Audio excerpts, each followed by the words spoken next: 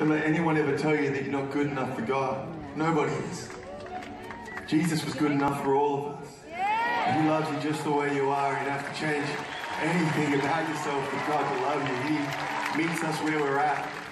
So just keep following Him. Keep stepping out day after day, failure after failure. His grace is always good. His mercy is never failing. It's there for us every single morning. I don't know about you, but I'm grateful for that.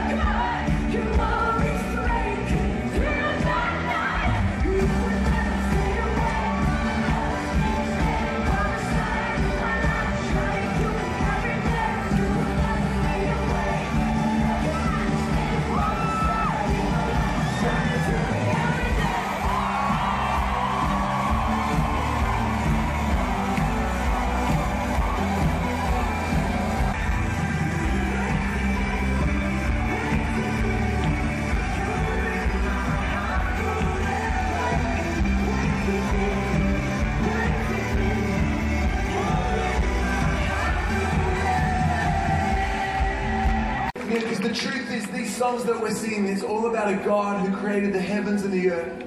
And He created you and He created me. And He loves us so much, He sent His only Son Jesus to die on a cross, but also to three days later to rise again and to conquer the grave. Amen. You know, the reason that He did all of that for you and for me is He did it so we could know forgiveness from our past and the mistakes that we might have made in our lives.